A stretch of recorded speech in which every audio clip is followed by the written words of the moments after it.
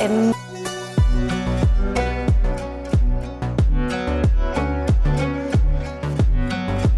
Hem fet que això sigui eh, una forma estàndard de fer la formació per tots els equips d'atenció primària. Tots els equips que venen tenen les mateixes estacions clíniques. Són situacions que les avaluem, com han fet no, els professionals d'aquell equip cada situació clínica i sobretot què poden millorar.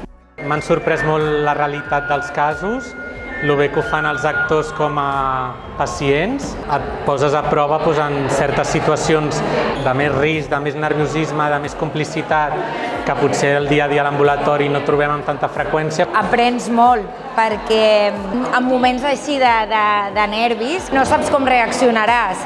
I, I sempre veus, quan acaben sobretot, que els observadors et diuen ostres, doncs això m'ho he deixat, o poder tenia que haver fet això. Doncs la veritat és que ha estat una experiència molt satisfactòria, com a molt propera a la nostra realitat, el que fa que, bueno, que puguem eh, evidenciar d'una manera molt, molt pràctica eh, què és el que fem bé i què és el que fem malament al nostre dia a dia.